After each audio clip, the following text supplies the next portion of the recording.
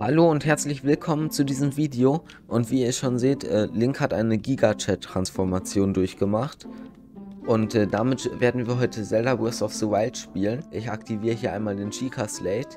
So, den Chica Stein haben wir. Was ich sagen wollte, unsere Challenge ist es, mit diesem Giga-Link zu schaffen, das Plateau zu meistern und wir müssen es zu Impa schaffen.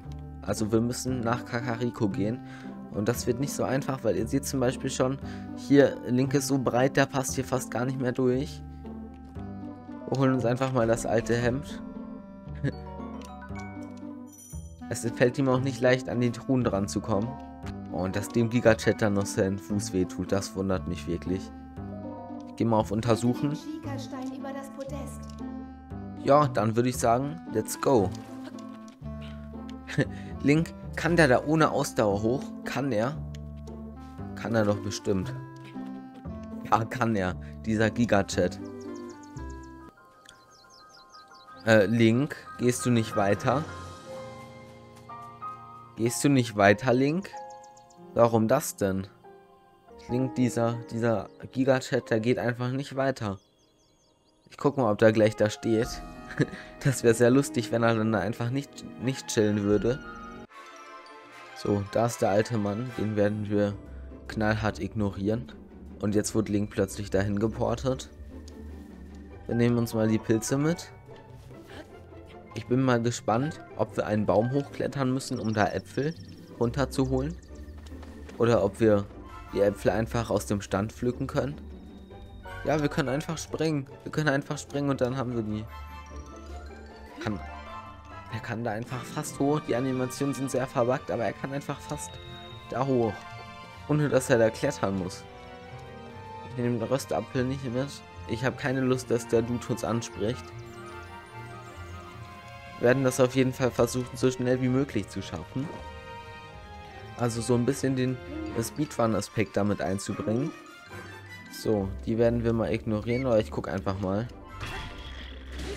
Oha, ich habe ihm einfach sein Schild weggeschlagen. Ich weiß nicht, ob das normal ist. Aber man muss auch Gegner, ich habe das vorher einmal ausprobiert. Und man kann die Gegner manchmal gar nicht treffen, weil die so weit unten sind. Und ich bin mal gespannt, ob wir einem Leuen begegnen werden. Da bin ich sehr gespannt. Jetzt werden wir den Chica-Turm aktivieren.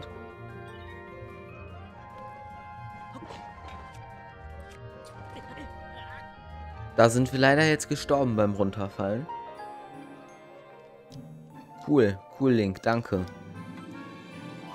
Das ist gerade auch wieder nur passiert, weil der Link einfach so, so groß ist.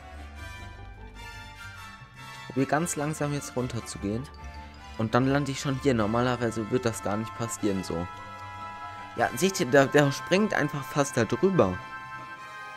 Okay. So, dann würde ich sagen, auf zum ersten Schrein. Link, der hat doch bestimmt noch andere Fähigkeiten, die, äh, die er nutzen kann, wenn er größer ist. Ich bin mal gespannt. Besser schwimmen kann er, glaube ich, nicht. Okay, das sah verbuggt aus. Ich habe mir gerade übrigens die andere Kleidung angezogen. Oder erstmal überhaupt Kleidung angezogen. Okay, der war sehr schnell down. Das liegt aber nicht am Gigalink. Man merkt einfach, Link ist viel zu groß für diese Mod. Ich werde jetzt nicht zum Monsterlager gehen. Wir wollen es ja so schnell wie möglich durchspielen. Aber kurzer Fun Fact. Diese Mod, die macht Link zweimal größer. Also doppelt so groß. Er kann einfach fast so... Er kann aus dem Stand auf diese Mauer hoch. Das jetzt nicht hier. Aber sonst generell schon. Er fällt auch fast. Er fällt runter, weil er, weil er so groß ist.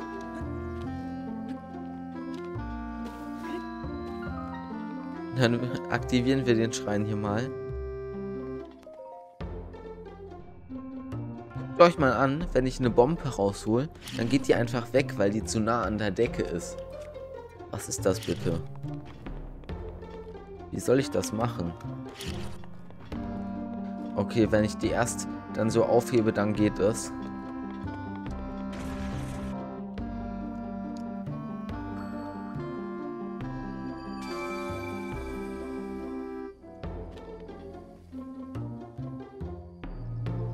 Mist, den Wächter da wollte ich nicht aktivieren.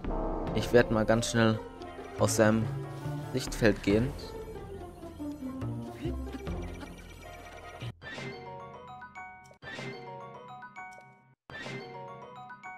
Werde jetzt gleich mal ganz taktisch gucken, ob da ein Dude von denen ein, einen Bogen hat, weil den könnte ich gut gebrauchen für Windbomben.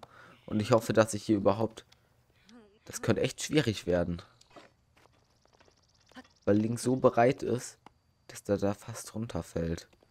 Schaut euch das an, der ist breiter als der Holzstamm. Der ist doppelt so breit.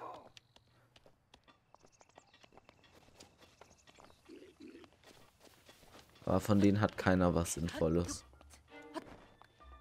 Dann kann ich es auch sein lassen.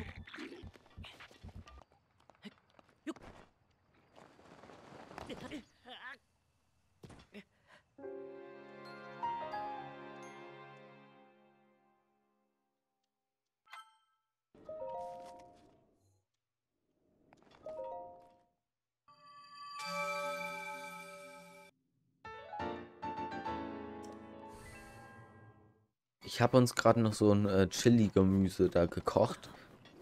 Das werde ich gleich einsetzen. Und dann, jetzt würde ich sagen, ganz schnell zum Schrein.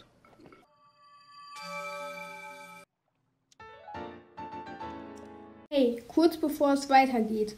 Ich bin Lankle und habe für German BOTW Modding dieses Video geschnitten. Also schaut gerne bei mir vorbei. Ich mache nämlich auch Zelda und Mario Content. Viel Spaß noch beim Video. Okay, wir haben jetzt alle Schreine gemacht, aber bevor wir uns den Paragleiter holen, werden wir auf jeden Fall uns da noch einen Bogen holen, wenn wir es irgendwie hinkriegen. So, ist auch nicht so der helle. Einen Bogen gab es hier leider nicht, aber dann würde ich sagen, let's go. Und wir haben den Parasegel. Ah, hier hätten wir auch einen Bogen bekommen. Das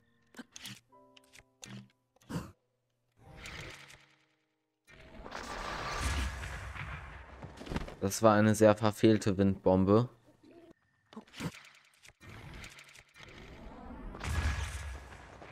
Das war mal eine einigermaßen okay Windbombe.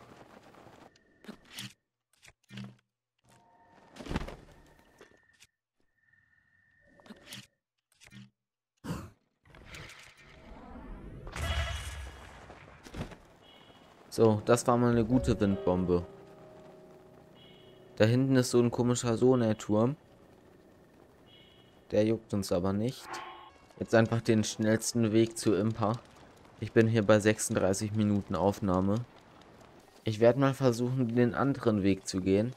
Und nicht den einfachen Weg äh, an dem Stall vorbei und so. Ich glaube, es sind sogar zwei Ställe. Wir werden mal probieren, hier rüber zu kommen. Und ich glaube, das ist deutlich schwieriger. Vielleicht hätten wir doch lieber Ausdauer nehmen sollen. Jetzt fängt es an zu regnen. Nee, oder?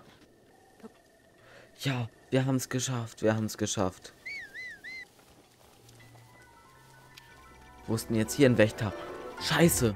Ich werde vor ihm einfach weg. Und hier ist noch einer. Woher kommen hier überall die Wächter? Bin ich jetzt hier bei, bei Relics of the Past? Ja, wahrscheinlich. Wahrscheinlich.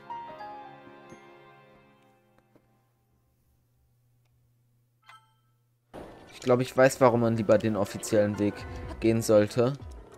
Auch wenn ich recht viel Spielerfahrung habe, aber ganz objektiv gesehen reicht jetzt einfach unser Inventar nicht aus, um das zu meistern. Diese Wächterbegegnung. Und guckt euch das Parasegel an, Leute. Er schwebt auf magische Weise. So. Ein Mann. Aber ich würde sagen, wir haben es soweit geschafft. Wir haben es als Gigalink nach Kakariko geschafft. So, dann würde ich sagen, wir haben es zu Impa geschafft. Danke, dass ihr bis hierhin zugeschaut habt. Teilt das Video auch gerne mit euren Freunden, die auch BOTW spielen, falls es euch gefallen hat. Und abonniert gerne den Kanal und liked das Video. Danke dafür und dann würde ich sagen, wir haben die Challenge geschafft. Und damit, ciao Leute.